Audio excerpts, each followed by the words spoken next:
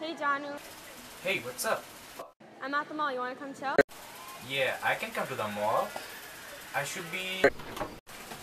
Yeah, Shiv, I'll uh, finish the science project by 6 pm today. Science project?